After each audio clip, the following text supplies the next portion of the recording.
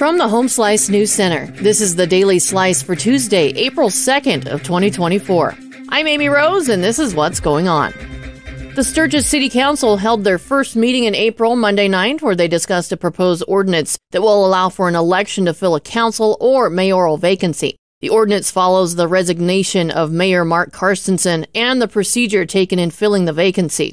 The city had no ordinance in place allowing for a special election. Therefore, appointment by the city council was the only option available.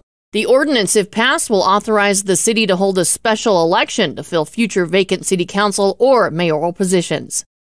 A new data analysis shows that South Dakota has the second highest care costs for consumers in the nation. Here's Kevin Phillips with more.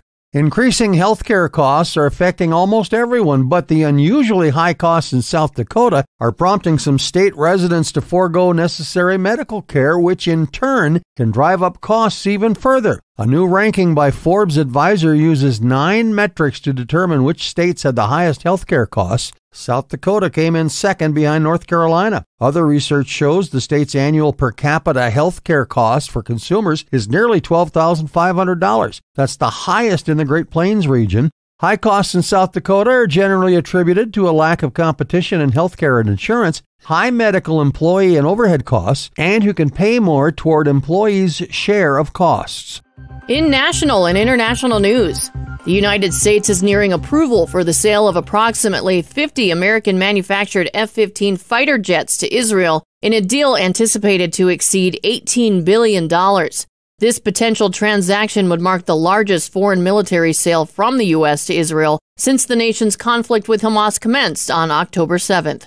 It highlights the ongoing support from the U.S. towards Israel, despite the strained relationship between President Joe Biden and Israeli Prime Minister Benjamin Netanyahu. In parallel, Iran has pledged to retaliate following an attack, which it attributes to Israel, resulting in the deaths of two of its senior commanders and five consulate officials in Syria. Such developments heighten the potential for a border conflict in the Middle East.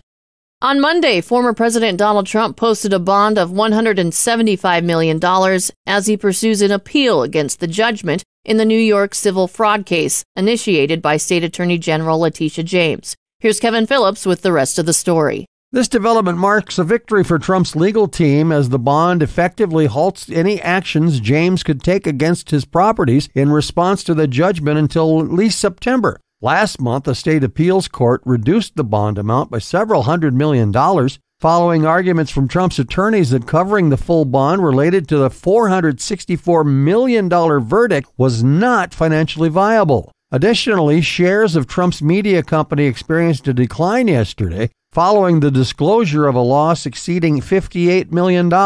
Trump holds the majority stake in the company and his net worth took a hit of over $1 billion. As part of a lawsuit settlement, Google is set to delete billions of data records, resolving allegations that the tech giant improperly tracked the web browsing activities of users who believed they were browsing privately. Originally filed in 2020, the lawsuit accused Google of misleading users regarding the type of data it collected from those using the incognito private browsing mode in Chrome. Under the terms of the settlement, Google will revamp its disclosures and cease tracking individuals' decisions to browse the web privately. Court filings on Monday disclosed that users will not receive damages collectively, although they retain the option to pursue individual claims for damages. Your weather forecast from the Home Slice Weather Center sunny this morning, windy later with a high of 55. Your overnight low, 29.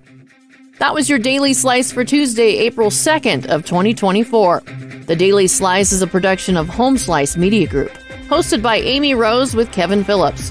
Executive producer Mark Houston. Engineered by Chris Jacquez. I'm Amy Rose. Have a great day.